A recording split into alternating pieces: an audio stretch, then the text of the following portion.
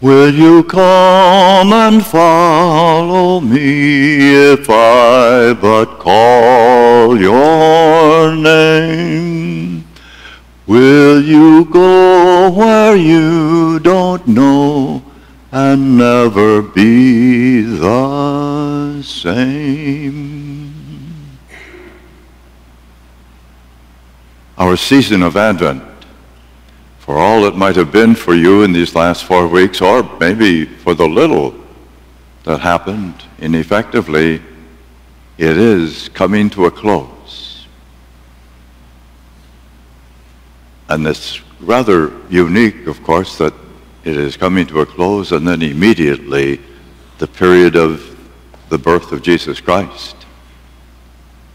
But I think it would be a critical mistake on our part if we followed suit that we just stepped out of one season and turned around and just kind of abruptly be absorbed into the next, the next moment, Christmas. This sort of, this sort of event takes time.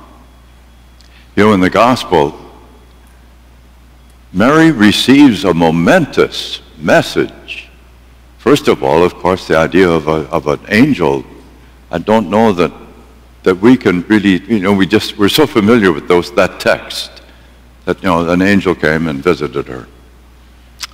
And she put out her cigarette or cigar, whatever. It almost seems like, oh, yeah, that's okay. It isn't, of course. It's beyond, it's beyond our imagining. It, it was beyond anything she was ever expecting in her life. And so, but the message comes directly, almost too directly. You will be the mother of the God Most High. Now again, we're familiar with the message, but what about the depth of it? It comes abruptly. But Mary's acceptance, she's human. First of all, she's afraid. The angel tries to, to subside that, to give her a sense of it's okay. But that, that newness of things and the whole idea of a message, which, how do you comprehend that? And when she does question the angel, the, com- the answer comes back. Did you ever hear this answer? The Holy Spirit will come upon you. The Holy Spirit will come upon you. Did you ever have anybody say that to you? The Holy Spirit will come upon you, perhaps at your baptism. The Holy Spirit. Oh, but it is momentous. It isn't just a kind of a casual sort of thing here. It doesn't happen as if it was, you know, just something we'd go to the store to buy. And so that is, I think, the idea that Mary has to look at this. What if she said no? Oh, wait a minute. But you see, she did have a choice. And whether she says yes or no, it changes her whole life.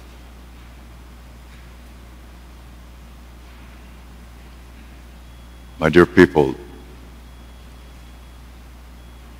this gospel story is our story. Oh, we may not have a vision of an angel, but we do have the message of God being given to us and it isn't, it isn't just something just for the moment, you know, that tomorrow we'll go on to something else. This is the beginning and this is the end. It's all there. The Holy Spirit will come upon you. We need to take time and think. That's why I say to just move into Christmas. If you're thinking about maybe that today you have to get some, some of your last minute shopping done, or more decorating has to go on before we can really light up that tree and so on. Drop it. Drop it. Wait. You can do it even after Christmas. Oh, that's unheard of. We're putting the stuff away then. Well, we need to feel this through.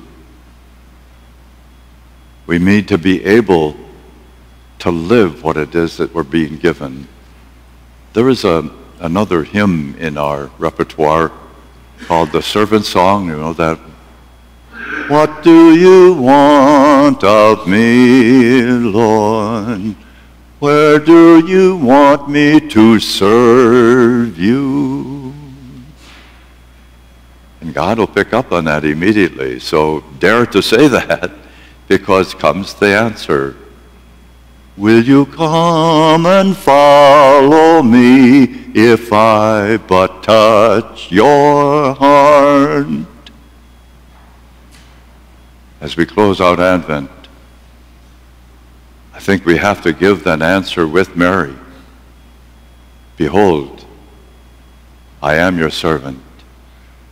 Let it be done to me according to your word. And we answer a gentle, but nevertheless powerful yes, yes. And you see, that's it. That's our life. That is what we're all about. Now, Christmas. And the answer has to echo all the way to the resurrection.